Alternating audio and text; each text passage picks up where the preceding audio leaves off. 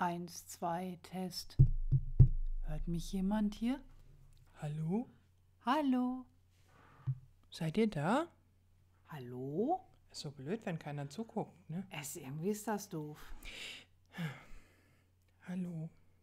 Wir sind's. Shelley und Christiane.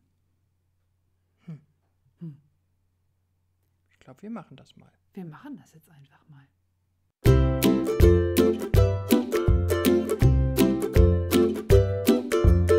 Wenn wir das jetzt machen, wie nennen wir das dann? Na, wo kommt denn das hin? In den Computer? Ja, nee. Auf die Ohren? Ja, auf die Ohren. Auf die Ohren ist cool. Auf die Ohren. Also ein Podcast. Auf die Ohren. Ein Podcast mit Shelly und Christiane. Das ist gut, oder? Das klingt super. So machen wir das. Voll Perfekt. gut.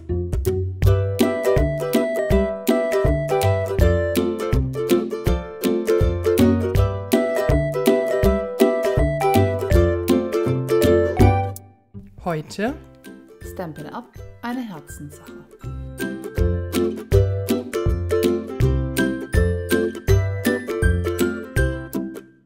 Hallo Shelly, Hallo Christiane. herzlich willkommen. Vielen Dank für die Einladung. Na, sehr gerne. Wir zwei Ja, Podcasten. Wie heißt denn das? Heißt das jetzt Podcasten? Ah, das weiß ich doch nicht. Und, Oder hat, wir labern uns einen Wolf? und was hat Carsten eigentlich damit zu tun? Ich weiß auch nicht so genau. Naja, gut, also wir audionen jetzt für euch. Das auch, klingt auch doof. Nee, klingt auch doof. Wir sind einmal im Monat für euch unterwegs. Zusammen. An der Ohren. An den Ohren. An Auf der- den Ohren. Auf den Ohren. Auf die Ohren? Auf die Ohren. Ihr merkt schon, wir sind auch noch nicht ganz warm. Nee, aber wir üben. Und wir hoffen, ihr habt Spaß dran. Heute geht's für uns beide um eine Herzensangelegenheit. Ja. Der Grund, warum wir uns kennen. Der Grund, warum wir viele, viele, viele Stunden schon telefoniert haben. Viele gemeinsame Tage miteinander verbracht haben. Uns manchmal an die Wand klatschen wollen, wie das eben in einer guten Ehe so ist. Richtig. Möchtest du anfangen? Ja, es geht um Stampin' Up. Ein Direktvertrieb mit Herz, könnte man auch sagen.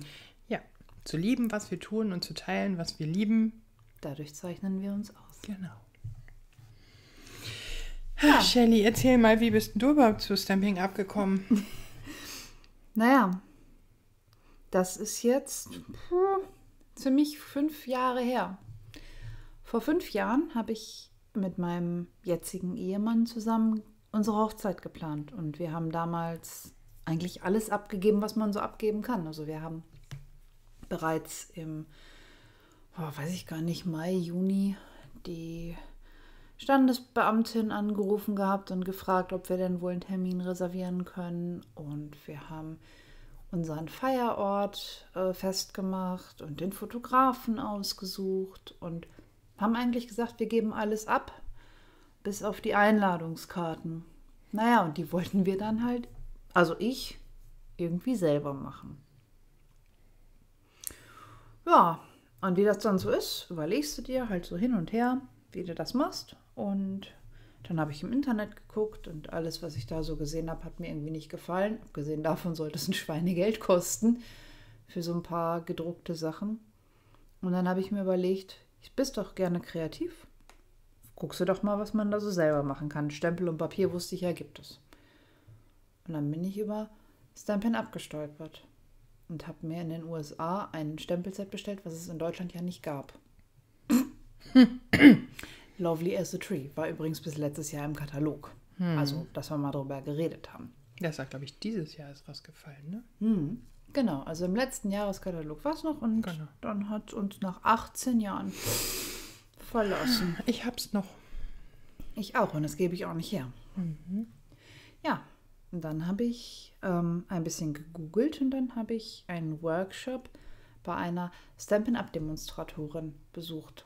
Und zwar bei meiner jetzigen Teammami, Ha. bei Jana. Die Juhu. wohnt ja hier direkt um die Ecke bei mir. Ja, und dann war ich dann auf dem Workshop und fand das total toll und habe Papier bestellt und ganz viele andere Sachen für, hm, keine Ahnung, viel Geld. 1,50 Euro. 50. ah, vielleicht auch zwei. Und ähm, ja, ich habe dann die ganzen Sachen mit nach Hause gebracht, habe die meinem Mann gezeigt, der fand das toll.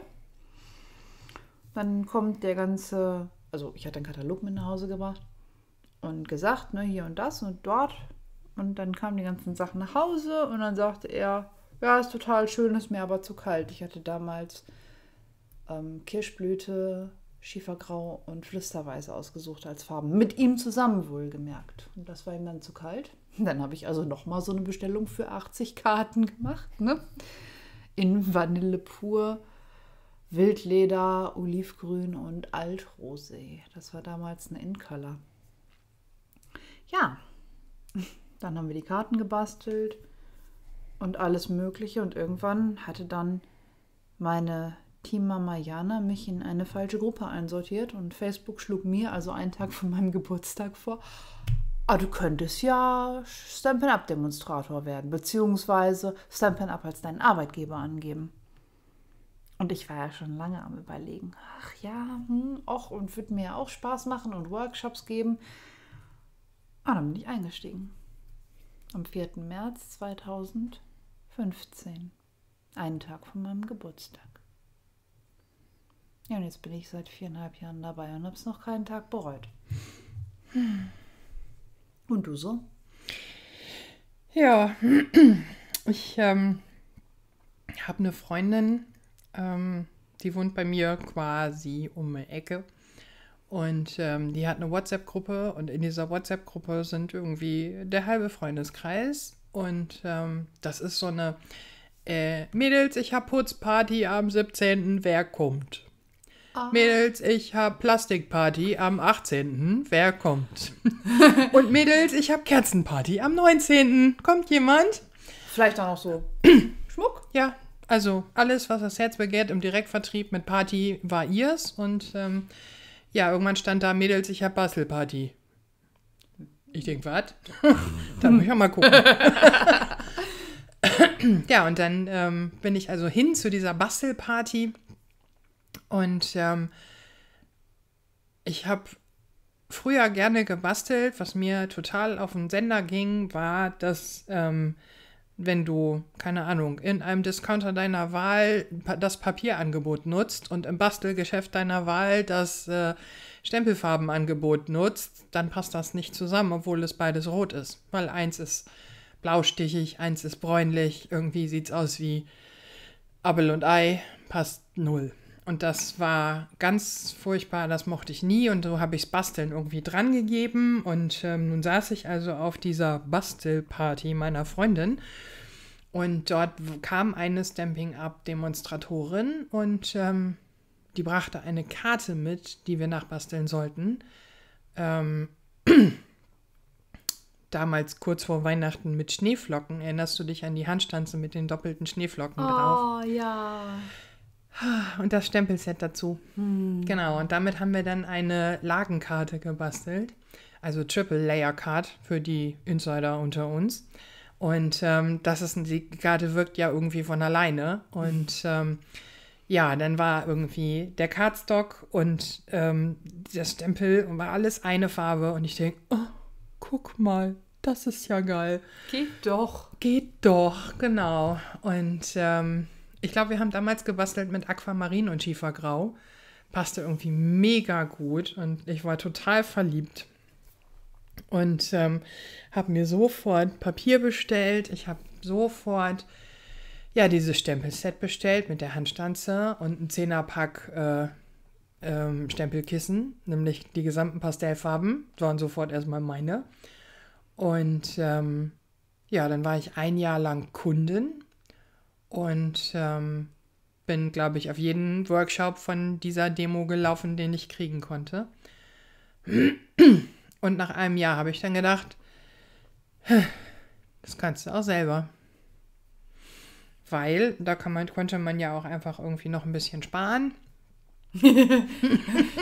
Habe ich damals noch geglaubt. Wer hat, wer hat es Stampin' Up angefangen, um sparen zu können? Ja. Ähm, Du auch? ja, so grundsätzlich. Und? Hat's funktioniert? Nee. da, dafür habe ich heute erfolgreich ein kleines Team aufgebaut Ah. und mein Wohnzimmer exportiert.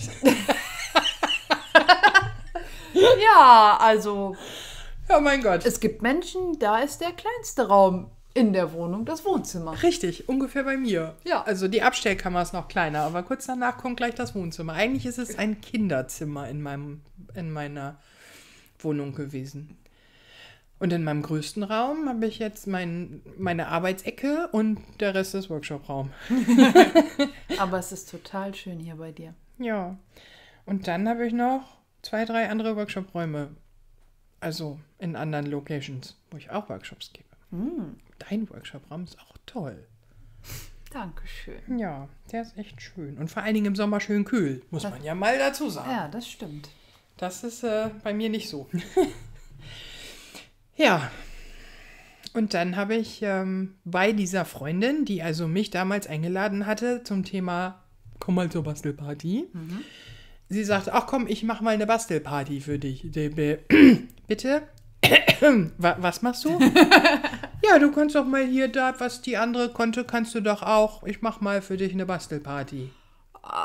Ja, dann mach mal eine Bastelparty. Und dann hat sie also diese WhatsApp-Gruppe wieder bemüht. Dick, dick, dick, dick, dick, Bastelparty. Und ähm, da kamen dann auch ein paar Damen, unter anderem die Nachbarin. Das war dann mein hinterher mein erstes Teammitglied. Ach, cool. Ja. Und dann gibt es einfach noch, ich habe ähm, ja die doch eher seltene Ehre, ein männliches Teammitglied zu haben. Das war auch einfach total lustig. Ich hatte irgendwie meinen besten Freund und seine Frau ähm, gebeten, auf einen Workshop zu kommen, weil ich hatte ähm, von meiner Nachbarin einen Kontakt bekommen zu einer Dame, die super gerne bastelt und ich wollte mit ihr nicht so alleine. Ich wollte, dass das eine nette Runde wird und hatte eben ähm, meine besten Freunde gebeten, ob sie denn dazu kämen und ähm, wir irgendwie nett was zusammen basteln könnten. Und ähm, ja, es war auch ein super netter Abend. Wir haben irgendwie schön gebastelt und die Dame war auch total begeistert und ja, und das müssen wir unbedingt nochmal wiederholen und kann ich den Katalog mitnehmen und ich denke, oh, das ist ein voller Erfolg. Habe ihr alles erzählt, was ich wusste über SU und über Einsteigen und über Kunden sein und alles, was ich wusste, habe ich ihr erzählt und die ist also total geflasht dann gegangen. Dann habe ich hinter ihr die Tür zugemacht, bin wieder in meinen Workshop-Raum reingekommen und mein bester Freund sagt zu mir, wo muss ich unterschreiben? Ach, Und ich denke, warte kurz. Ähm, äh, ja, äh, das war eigentlich nicht das Ziel, aber herzlich willkommen. ja, so kommt man zu männlichen Teammitgliedern. ja, da hast du mir definitiv was voraus. Aber ein Team habe ich auch aufgebaut. Ja. Ich war auch bei einer Freundin von mir, ähm, die ich auch über einen äh, anderen Direktvertrieb kenne und auch schon ganz, ganz lange kenne. Ähm, die hatte das mitbekommen, dass ich ähm, mit Stampin' Up angefangen hatte, weil ich mir natürlich auch eine Website und eine Facebook-Seite und ein bisschen hier und ein bisschen da gemacht hatte. Und dann hatte sie mich eingeladen, ob ich denn nicht mal bei ihr sowas machen könnte. Dann habe ich da hingefahren, hat man dann noch direkt einen Workshop gemacht. Und ähm, ja, das war sehr nett. Und dann bin ich, glaube ich, weiß ich nicht, sechs Wochen später oder was, nochmal zum Workshop dahin gefahren. Da waren ein paar andere Leute da. Und von dem Workshop bin ich nach Hause gefahren mit drei Teammitgliedern. Ja. Habe ich gedacht, so ja, äh, so geht's auch. Fand ich also total lustig und nett. Und dann hatte ich mein erstes kleines Team schon aufgebaut. Und ähm, ja, inzwischen sind wir ein paar mehr Leute äh, geworden. Auch dass du jetzt in meinem Team bist, Ja. sorgt ja dafür, dass mein Team deutlich angewachsen Auch ist so der ein oder andere. im äh, Juli diesen Ja. Jahres. Ähm, und ja, jetzt habe ich, bin ich seit anderthalb Jahren so weit, dass ich also auch offiziell bei Stampin' Up zur äh, Gruppe der Führungskräfte gehöre, also einen bestimmten Titel, in dem Fall Elite Silber habe. Und das bedeutet, dass ich, wenn es ähm, größere Events von Stampin' Up gibt, eben auch zu den Führungskräfte-Events eingeladen werde. Ich arbeite noch dran. Ich würde dich auch sehr, sehr gerne auf die nächste, nein, die übernächste große Veranstaltung mit zum Führungskräfte-Ründchen Ja. mitnehmen. Weil die nächste, die ist ja schon nächsten Monat. Ich glaube, das wird ein bisschen knapp. Ja, das stimmt. Der Qualifikationszeitraum dafür war gestern abgelaufen. Ja. Das habe ich nicht ganz geschafft. Fast. also viel fehlte nicht. Ah ja, also Ein bisschen. bisschen. Bisschen. Ja. Ja. Ja, und was bedeutet Stampin' Up so für dich? Ach, für mich ist Stamping Up ähm, ja eine Herzenssache geworden, weil ich ähm, so viele neue Freunde, so viele neue Bekannte. Ähm, ich mag total gerne auf verschiedene Events fahren, nicht nur von Stamping Up selber, sondern auch von Demos organisiert und ähm, mag dort einfach den Austausch und ähm, liebe nette Mädels treffen, ein bisschen basteln, ein bisschen schnacken, ein bisschen Käffchen trinken. Das ist einfach so nett. Und ähm, ja, wenn ich nicht so reisefreudig wäre und ich nicht in halb Deutschland schon Leute kennen würde, dann wäre ich auch nicht auf die Burg gekommen. Richtig, das wollte ich gerade sagen, denn wir haben uns ja auch auf einem solchen Event kennengelernt. Genau.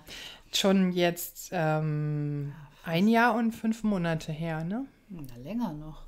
Ne? Wir haben 12. August, 3. Mai, äh, 3. März. 1., 2., 3. März war das doch? Ja, aber wir haben jetzt schon Oktober, meine Liebe. Ach, wir haben Oktober. Stimmt. Also eigentlich haben wir August, aber gut. das hier kommt erst im Oktober. Ach so. Ja. Das müssen wir doch nicht verraten. Nein, wir verraten. Also, wir haben Oktober. wir kennen uns schon anderthalb Jahre. es läuft auch besser von der Hand. Ja.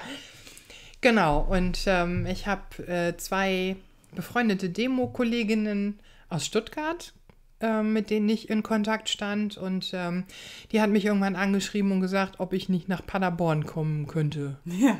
Die waren nämlich bei uns auf der Burg angemeldet. Genau. Und ich denke, wohin? Wo ist das denn?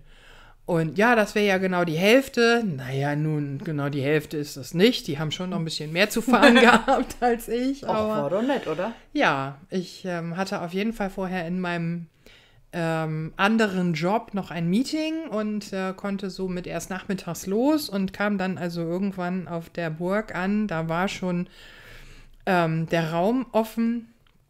Abendessen gelaufen. Abendessen gelaufen und äh, ähm, ich rief also eine von meinen beiden Mädels an und sag, äh, ich stehe jetzt hier auf dem Parkplatz, äh, wo muss ich denn jetzt hin? Drei Grad und so, da, die kam mir dann entgegen in kurzem Top, oh, es ist so warm hier. Was? Natürlich. Ja. Ja, und dann ähm, mussten wir noch ein Stückchen Fuß, Fußmarsch und ähm, dann hat sie mir mein Zimmer gezeigt und äh, dann bin ich in diesen Raum gekommen und stellte fest, dass neben beiden, mei mei- neben beiden, beiden Mädels, äh, kleiner Zungenbrecher, neben meinen beiden Mädels kein Platz mehr war. Fand ich jetzt total doof. Ja. Weil, also ich kenne ja sonst da niemanden. Ähm, und und wir waren ja nicht so viele. Wir waren ja nur 13 oder so. Genau, ja, und dann musste ich also auf dem einzigen freien Platz an diesem Tisch sitzen und der war neben dir. Ja. Oh Gott. Ja, habe ich auch gedacht.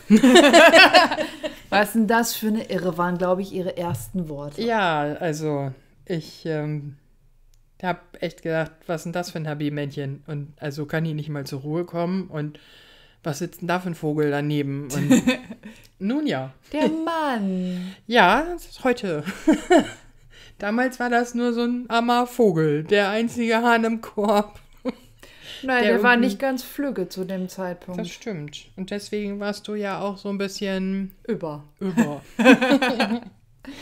ja, genau. Der Mann ein bisschen äh, kränklich und ähm, du nicht ganz 100% mit den Gedanken dabei. Nee, man muss ja auch auf den Mann aufpassen. Den kannst du ja nicht mal ein Wochenende alleine lassen. Ja, dem kannst du keine Co kein Cola-Glas in der Hand Nee, Das gefährlich. Prost übrigens Prost. Genau. Muss man einen Schluck trinken, wenn man hier so viel sabbelt. Ja, genau. Und dann habe ich da gesessen und ähm, ähm, habe mich halt zuerst gewundert, weil ich denke, irgendwie, du, du fahr doch mal einen Gang runter. Aber das hat sich irgendwie im Laufe der Zeit total gebessert und Sonntag haben wir dann schon beide geweint, dass wir uns trennen müssen. Ja, und, und dann hieß es, ich komme im Mai zu deinem Workshop. Ja. Und da war sie dann auch. Und das war ganz schön lang bis Mai, ne? Hm, ja, das war schon echt übel. Ja, dann war ich im August letztes Jahr bei dir. Mhm. Ja, und dann war ich gefühlt 27, 12, 15 Mal hier. Ja, aber ich war auch noch mal bei dir so zweimal zwischendurch. Und dann waren wir wieder auf der Burg. Genau. und so geht das irgendwie in einer Tour. Ja, genau. Jetzt ist ähm, August. Mhm. Und sie war gerade bei mir zum Geburtstag. Genau. Und jetzt bin ich hier zum Workshop und zum Podcast aufnehmen. Ja, wir versuchen ja auch in unseren, wer uns gerade aktuell so ein bisschen folgt, der merkt das auch in unseren Live-Videos, dass wir ein bisschen uns da schummeln. Wir schummeln? Naja, wir, wir versuchen was zu erzählen und nichts zu sagen. Ach so. Ja, also wer uns gerade zuhört, der wird, heißt das zu Neudeutsch, geteasert? Genau. Nicht zu verwechseln mit Tasern, das tut bestimmt weh. nee, das wollen wir nicht. Nein. Aber wir verraten eben einfach noch nicht, dass es dieses Podcast gibt oder dass wir gerade dran arbeiten. Und dann müssen wir das noch schneiden und noch ein Bild und ein paar Fotos und überhaupt. Deswegen kann das auch erst in sechs Wochen rauskommen, weil das muss ich ja alles machen, wenn ich wieder in Bremen bin. Genau. Jetzt haben wir es verraten. Ist auch nicht schlimm, oder? Nee, ist nicht schlimm. Weil wir wollen ja wir. Genau. Und das lieben die Leute an uns. Zumindest die, die uns schon kennen. Genau, und vielleicht können wir noch ein paar andere begeistern. Denn was du vorhin gesagt hast mit Stampin' Up, ist für dich so eine Herzenssache und du lernst so viele nette Leute dadurch kennen. So ist das bei mir auch gewesen. Also, ich habe ganz, ganz viele neue Freundinnen kennengelernt. Ich habe das Gefühl, ich kann hinfahren, wo ich möchte. Irgendwo ist immer einer, der stempelt. Und du hast ja auch gleich ein Thema, über das du sprechen kannst. Ich habe sogar durch Stampin' Up Niederländisch gelernt. Hm. Na, ich war in, ähm, in den Niederlanden auf einer, damals hieß das, glaube ich, noch Convention. Da waren die Events noch nicht gleichzeitig und ähm, das deutsche Event war zu einem Zeitpunkt, wo ich gar nicht konnte. Und dann bin ich halt in die Niederlande gefahren. Und wenn man da schon hinfährt, dachte ich mir so, muss der die Sprache auch ein bisschen sprechen und habe dann angefangen, Niederländisch zu lernen. Und bin da super herzlich aufgenommen worden und es war einfach nur richtig schön. Ne, oder als wir in Bremen ähm, dieses Jahr über Pfingsten den Friends Day hatten. Oh ja, Stempelpalast and Friends, den Trefftag nenne ich das mal. Ja. Oder? Ja, das war total lustig. Da gab es kurz vorher gab es ähm, in einer Facebook-Gruppe von einer amerikanischen Demonstratorin die Anfrage, ja, mein Sohn ist in Bremen und ich bin über Pfingsten da und macht da nicht jemand zufällig einen Workshop, an dem ich teilnehmen kann? Ich so, ja, hier meine Freundin. Und ähm, ja, dann haben wir ein bisschen hin und her gequatscht mit einer ganz zauberhaften Demonstratorin aus Florida, die uns schlussendlich an diesem Tag besucht hat. Ah, Stampin' Up verbindet, im Zweifel auch mit Händen und Füßen. Oh ja, nicht alle von uns konnten Englisch und haben sich aber dann, sie war auch wirklich lieb und, und ähm, zugetan, sodass also jeder einfach drauf losgebrabbelt hat, ob es funktioniert hat oder nicht. Ähm, aber wir haben wirklich versucht, uns alle mit Händen und Füßen mit ihr zu unterhalten und es war einfach schön. Und ähm, ich fand das total niedlich. Sie erzählte dann zwischendurch, ihr Sohn hatte gesagt, er, sie solle ihn bloß anrufen, wenn das nicht funktioniert. Er wäre sofort da und würde sie wieder abholen. Ja, und eigentlich, als äh, er um halb drei anrief und sagt, er ist dann jetzt wieder da, Wow, war das nicht so lustig. nee, da hätte sie eigentlich auch noch ein Stündchen auf zwei bleiben wollen. Ja, das war sehr, sehr lustig. ja total schön. Tja, Und das mag ich einfach so, dass ähm, gerade beim Stempelpalast and Friends irgendwie auch, wenn man nicht in einem Team ist, sondern einfach irgendwie, wer sich mag und wer ähm, vom Herzen her dazugehört, ähm, der ist einfach dabei. Ob er nun in meiner Downline hängt oder in deiner Downline hängt oder nicht. Ähm, das ist einfach schön und das macht Freude und ähm, ja, wir sind zusammen kreativ und ähm, Ich mag auch die Unterstützung, die es da so gibt. Also, wenn irgendjemand schreibt, XYZ ist passiert, als wir, ähm, das ist schon eine ganze Weile wieder her, da gab es einen Vulkanausbruch auf Hawaii. Das muss letztes Jahr irgendwann gewesen sein. Ähm, da hat halt eine Demo für ihre befreundete Demokollegin, die eben auf Hawaii wohnt und eben von dieser Evakuierung und auch von diesem Lavastrom dann betroffen war, ähm, hatte dann ähm, gebeten, dieser Dame doch Karten zu schicken, damit sie wenigstens was zum Zeigen hat, weil ne, das Haus und alles war halt verschüttet und bevor sie die ganzen Sachen, die sie halt eben dann nicht mehr hatte, neu hatte, dass sie halt wenigstens ja ihr Geschäft auch weiterführen kann. Und ich weiß noch, ich habe damals eben auch eine Karte quasi von hier aus gesehen einmal um die halbe Welt geschickt. Und ich bin in diversen äh, Gruppen eben auch unterwegs, wo es dann die Möglichkeit gibt, dass man sich eben Karten von hier nach da nach dort schickt.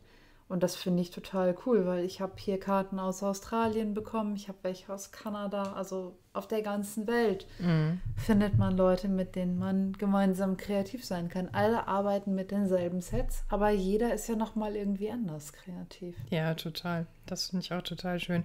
Ich hatte ja nun auch gerade Geburtstag und ich glaube, seitdem hat der Postbote mich nicht mehr so lieb. Warum? Ach, hm.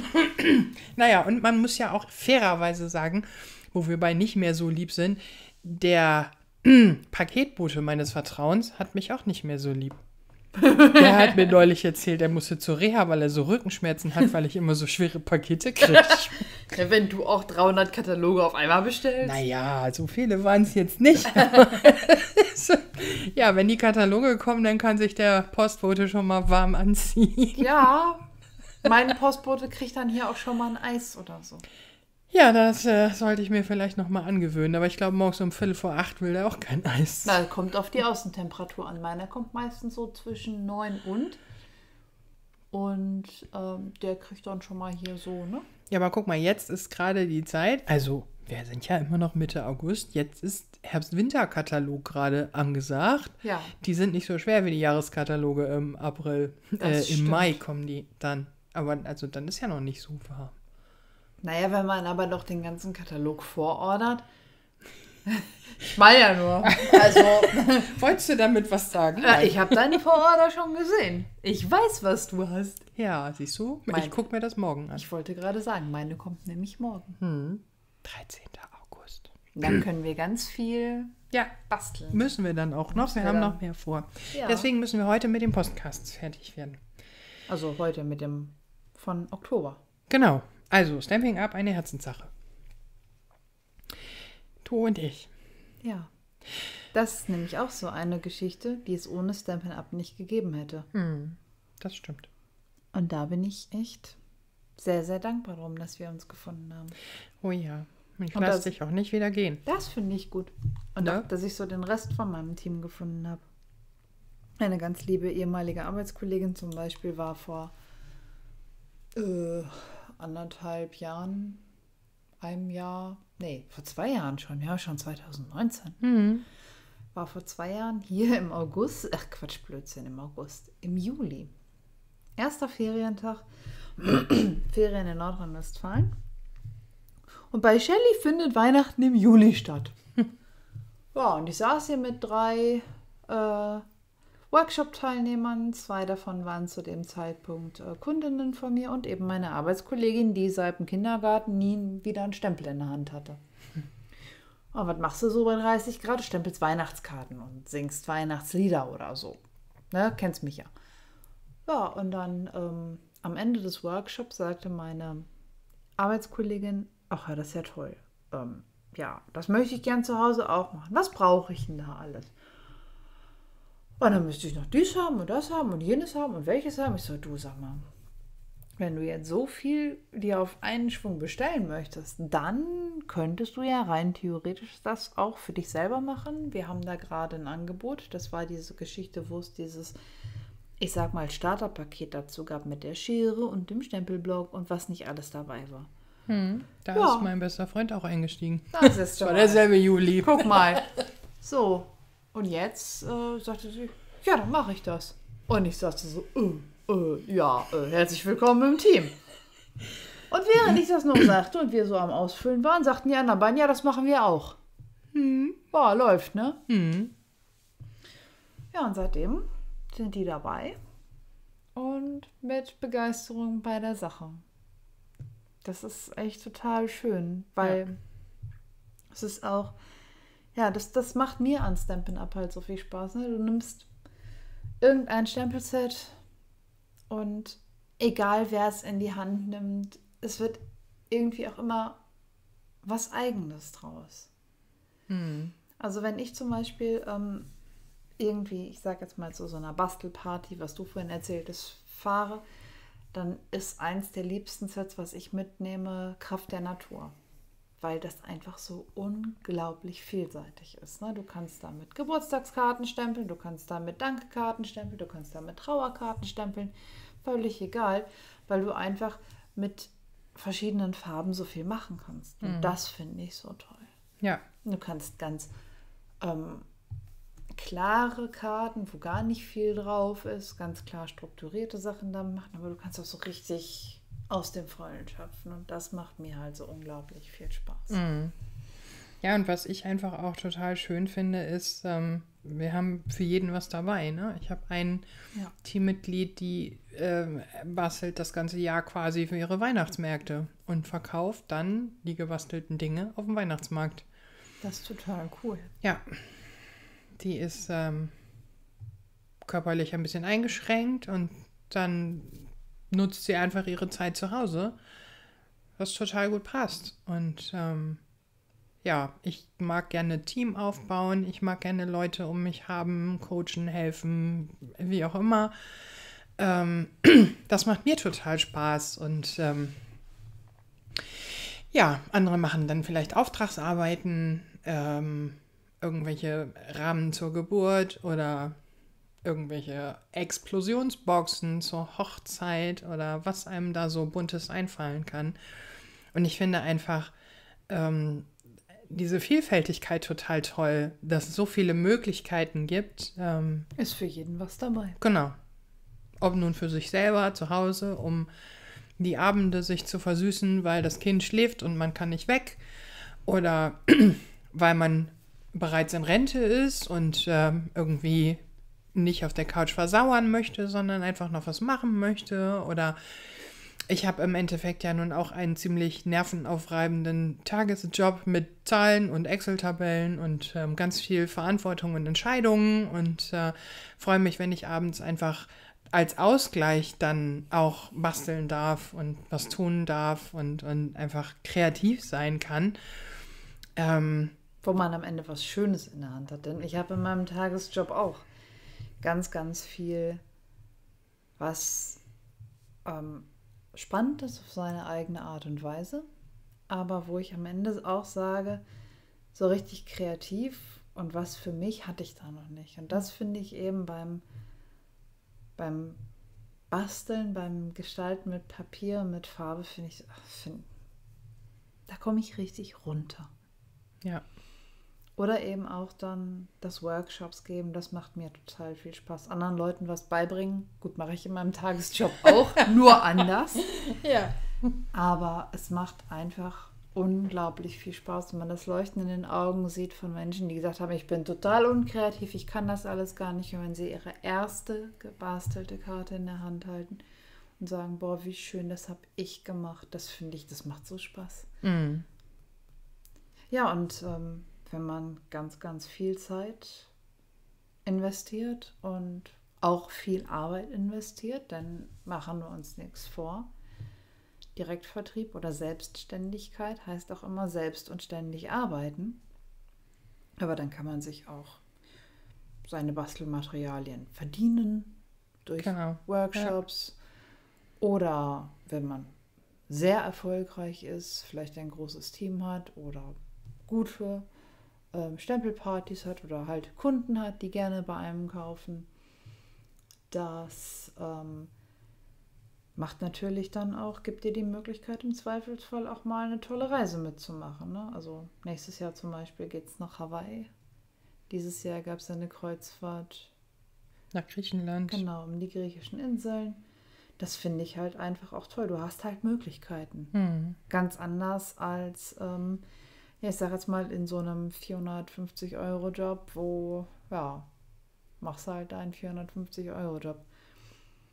Und Ja. was ich total gut finde, ähm, jeder von uns macht ja aus den, aus den Sachen was anderes. Wir unterscheiden uns ja, obwohl wir die gleichen Produkte haben, obwohl wir die gleichen Produkte verkaufen.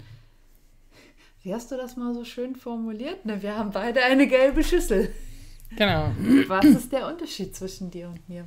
genau. Wären wir für einen anderen Direktvertrieb tätig, der zufällig gelbe Plastikschalen verkauft, dann geht es nur noch nach der Nase oder nur noch nach Bekanntheitsgrad oder großem Freundeskreis oder so.